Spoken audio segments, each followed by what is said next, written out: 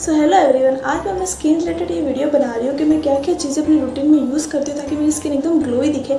First we start with morning से लेकर हम रात तक पूरा मतलब शेड्यूल जो मेरा है स्किन केयर को लेके, वो मैं आपको बताऊँगी। फ़र्स्ट मैं जैसे नहा के निकली तो सबसे पहले मैं ये गुलाब जल लगाती हूँ। ये मैं बहुत पहले से लगा दिया ये मैंने लगाती तो मुझे लगता है मैंने नहाया ही नहीं है। ये मेरे लिए इतना इंपॉर्टेंट है। तो सबसे पहले मैं फेस पे लगाऊँ। ये देखो, आप इतना यूज़ है मतलब मैं इसको यूज़ करती हूँ। इसके आप ऑप्शन में ये प्लम का एल्कोहल फ्री टोनर ये टोनर ये भी आप यूज़ कर सकते हो, ये मैंने रिसेंटली लिया है, आप इन दोनों में से कुछ भी आप, जो आपको अच्छा लगे, वो आप यूज़ कर सकते हो। तो जैसे कभी हमें लगता है कि हमारी स्किन बहुत डल है, जैसे हमें कुछ लगाना है मास्क या ऐसा कुछ स्क्रब या ताकि हमारी स्किन थोड़ी यूँ लाइटन हो जाए तो उसके लिए आप दो चीज़ कर सकते हो। या तो आपको बहुत नेचुरल में जाना है तो आप जो पहले लगाते थे, वो बेसन और दही आप लगा सकते हो, जो मैं पहले मतलब अभी रिसेंट तक लगा रही थी वो आप लगा सकते हो तो वो भी आपकी स्किन के लिए अच्छा रहेगा। पंद्रह मिनट उसको रखना है और फिर वॉश ऑफ़ कर देना है तो उससे आपकी स्किन ग्लो दिखेगी। सेकेंड आप यूज़ कर सकते हो मैकेफिन का। ये बॉडी स्क्रब है बट मैं इसको फेस पे भी यूज़ करती हूँ। और मेरे लिए तो बहुत अच्छा वर्क करता है। एकदम स्किन एकदम स्मूथ हो जाती है। तो आप इसको भी यूज़ कर सकते हो। इसको आप स्किन एकदम ग्लोई ग्लोई से आपको नज़र आएगी। जो भी आपको डर्टनेस लग रही थी कि ये डल है, ये तो आपकी दो चीज़ें या तो आप वो बेसन, वो वाला लगा सकते हो या फिर ये, दोनों में से जो भी आपको बेस्ट लगता है। जैसे मेरे डार्क सर्कल्स बहुत ज़्यादा है, जिसमें, इसमें भी विजिबल नहीं है बट बहुत ज़्यादा है। तो उसके लिए मैं ये यूज़ ये यूज़ करती हूँ। ये मैंने इंस्टाग्राम पेज से मंगाया था। अगर मुझे पेज मिलता तो मैं आपको नीचे मेंशन कर दूँगी। ये देखो ये पे मैंने यूज़ किया हुआ तो आधे से ज़्यादा खाली है। ये रात को मैं से लगाया कि मैं नीचे तो काफ़ी मतलब आपको इम्प्रूवमेंट दिखेगा इसमें। बहुत इंपॉर्टेंट स्टेप है। नेक्स्ट मैं आपको बता दें, रात को आपको कुछ ना कुछ आप फेस पे लगाओगे तो ज़्यादा मतलब हाइड्रेटिंग आपकी स्किन दिखेगी।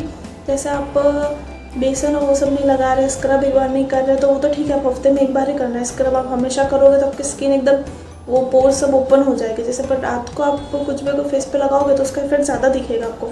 जैसे मैं मोस्टली तो रात को यही लगाती हूँ, पतंजलि की एलोवेरा जेल बट अभी अभी मैंने मैकेफिन का कॉफ़ी स्लिपिंग मास्क यूज़ करना स्टार्ट किया है अपने फेस पे। इससे मैं सुबह जब उठती हूँ तो मेरे को स्किन एकदम हाइड्रेटिंग दिखती है।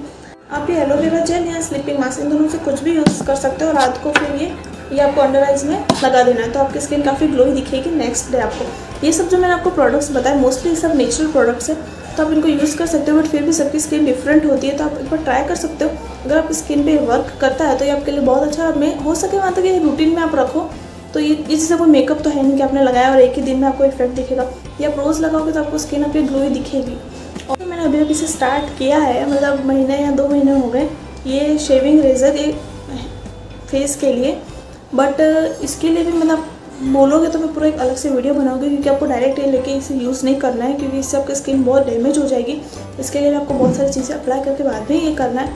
ये और इसके रिलेटेड लोग बोलते हैं कि हेयर ठीक आएँगे। नो नहीं आएँगे, ठीक।